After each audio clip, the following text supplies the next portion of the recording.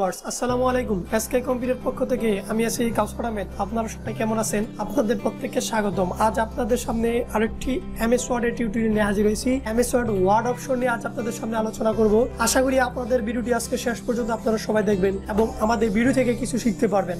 যারা MS word সম্পর্কে পুরোটাই নতুন, আশা করি তাদের জন্য এই ভিডিওটি আজকে খুব উপকারে আসবে এবং এই ওয়ার্ড অপশন সম্পর্কে যারা আলোচনা এবং তাদের দেখলেও কাজটি কিছুটা উপকারে চলে আসবে এবং যারা এই কাজগুলো শিখে আছেন তাদের প্রত্যেককে ধন্যবাদ যে আপনারা কাজগুলো শিখতে পেরেছেন। সো ভিউয়ার্স আমরা কথা না বলে আমরা আমাদের কাজের ভিতর চলে যাব। আর এখন যারা এখন আমাদের এই চ্যানেলটি সাবস্ক্রাইব করেন নেই, অবশ্যই আমাদের নতুন চ্যানেলটি সাবস্ক্রাইব করবেন এবং তার পাশে থাকা বেল আইকন বাটনটিতেও ক্লিক করে নেবেন। কারণ তারপর থেকে যত নতুন ভিডিওগুলো আমরা আপলোড করব, আপনার সাথে সাথে সেই ভিডিওগুলো দেখে নিতে পারবেন।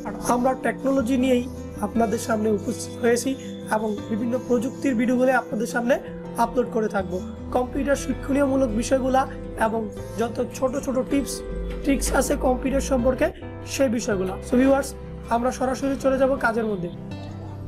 মাইক্রোসফট ওয়ার্ড প্রোগ্রামটি ওপেন করতে হবে।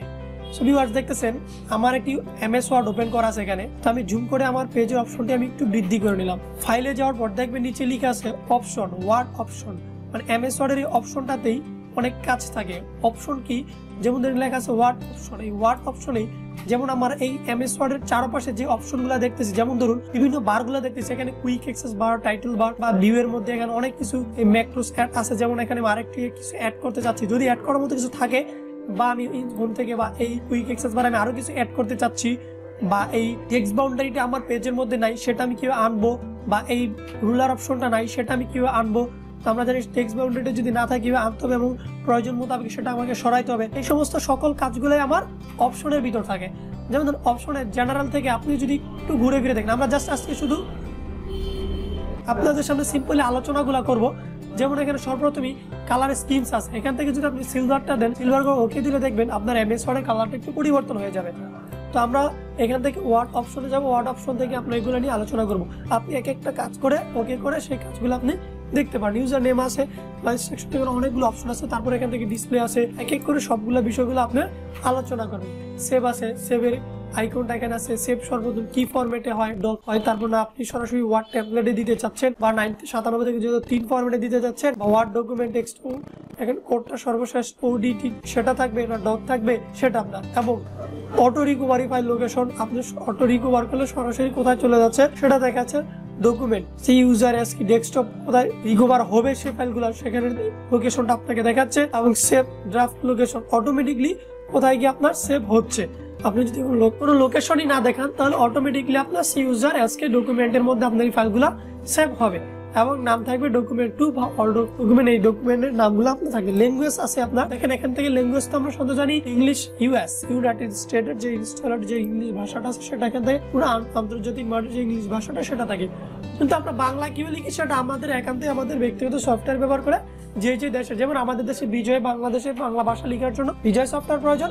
সেক্ষেত্রে আমরা বিজয় অ্যাড করে তারপর আমাদের কাজ করতে হচ্ছে। তারপর আমরা অ্যাডভান্স একটু দেখি। অ্যাডভান্সে যাব। অ্যাডভান্সে গেলে কি কি আছে? বিভিন্ন ধরনের, দেখুন এডিং অপশন এডিং অপশন বলতে এখানে typing reflex selected typing reflex select point selection এরাও এই অপশনগুলো দিলে আপনার কিছুই কাজ আসবে না। তো আপনি দেখেন user the instruction K and contact overly mode use overly mode এখান থেকে অনেক অপশন কাস্টম রিবন এটা হলো রিবন বারের আপনার এই রিবন বারে এই রিবন বার থেকে অনেকগুলো আমরা কাজ করতে যেমন পপুলার যে কমান্ডগুলো আছে, সেই পপুলার কমান্ডগুলো আমরা এখান থেকে অ্যাড করতে পারি প্রয়োজন আমরা রিমুভও করতে পারি। যেমন ধরুন, এই অপশনটি clipboard font paragraph style editing এটা আছে হোম হোমে আপনি যদি ক্লিপবোর্ডটা আপনি ক্লিপবোর্ডটা রিমুভ করতে চান রিমুভ রিমুভ করার পর আপনি এখান থেকে ওকে দিলেন। দেখুন তো হোমে আসার পর আপনি ক্লিপবোর্ডটা পাবেন। পাবেন না। আপনি হোমে এসে কি করতেছেন? ক্লিপবোর্ডটা পাচ্ছেন না। শুধু ফন্ট প্যারাগ্রাফ স্টাইল আর এডিংটা এখন এটা আমরা যেভাবে ক্লিপবোর্ডটি অ্যাড করব, সেই ক্ষেত্রে আমাদের আবার আগের জায়গায় অপশনে যেতে হবে। অপশনে যাওয়ার পর দেখুন আমাদের কাস্টমাইজ রিবন যেটা আছে, সেই রিবন থেকে আমাদের এখান থেকে চোজ কমান্ড ফর্ম আমরা অ্যাড করব কোথায়? যেমন ধরুন এই যে হোমে সেটা আমাদের হোমে ক্লিক করতে হবে। লাস্ট পয়েন্টে দেখুন ফন্ট প্যারাগ্রাফ স্টাইল এডিং আপনি চাইলে এখান থেকে সবগুলো তুলে দিতে পারেন। এখান থেকে একটা একটা পর একটা রিমুভ করে দিবেন। যেমন আপনি হোমে ক্লিক করার পর, আপনি এখানে পপুলার কমান্ড থেকে আপনি মেন ট্যাপসে যাবেন। মেন ট্যাপসে যাওয়ার পর আপনার হোম অপশনটা প্রয়োজন। হোমে প্লাসে ক্লিক করার পর এই যে ক্লিপবোর্ড ক্লিপবোর্ডের মাঝখানে ক্লিক করার পর অ্যাডে ক্লিক করবেন। তো একটা জিনিস দেখার কি অ্যাডে যখন আপনি ক্লিক করছেন এডিংয়ের পরে চলে আসছে। তো এটা আপনি ওকে দিলে ক্লিপবোর্ডটা একদম শেষ প্রান্তে চলে আসে।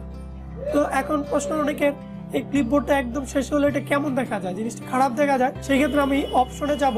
অপশনে ক্লিক করার পর সেম আগের মতো কাস্টমাইজ রিবোর্ড আমি যখন এখানে ক্লিপবোর্ড আসবে ক্লিপবোর্ডটাকে ধরে চাপ দিয়ে হোমের শুরুতে নিয়ে যাব। তারপর আমি ওকে দিব। দেখব আমি ক্লিপবোর্ডটা আগের মতো আমার এখানে চলে আসছে।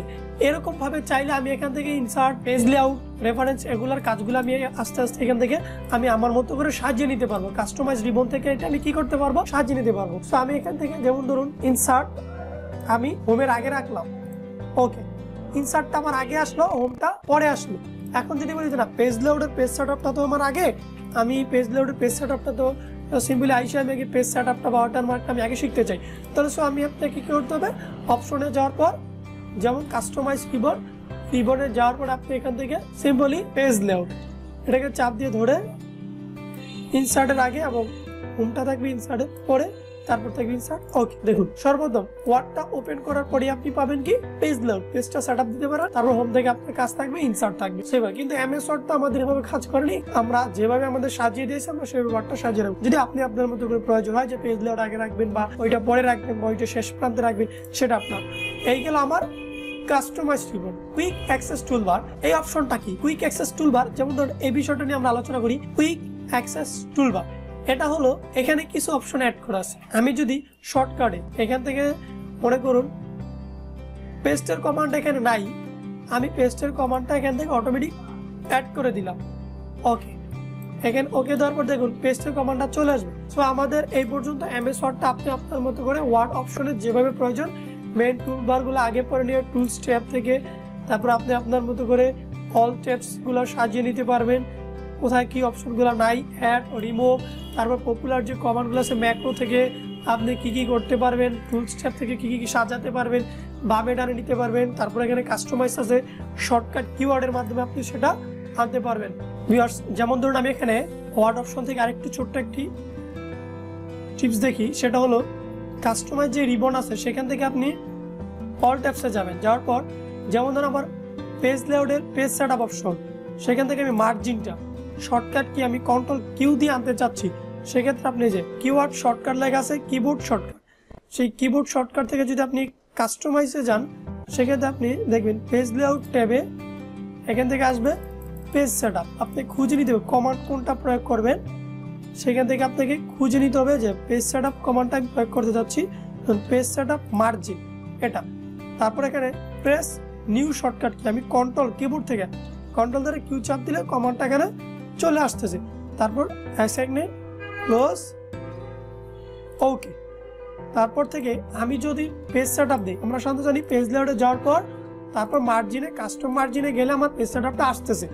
সেহেতু এখন আমাকে যদি আমি কন্ট্রোল কিউ চাপ দেই অটোমেটিকলি আমার সেটা চলে আসতেছে আমি শর্টকাটে এরকমভাবে সিম্পলি আমি যে একটা কাজ দেখালাম, এরকমভাবে এরকমভাবে এরকম ভাবে টুলবারে প্রত্যেকটা টুলবাক্সের কাজ আপনি আপনার মতো করে শর্টকাট কিওয়ার্ডের মাধ্যমে সাজিয়ে নিতে পারবেন।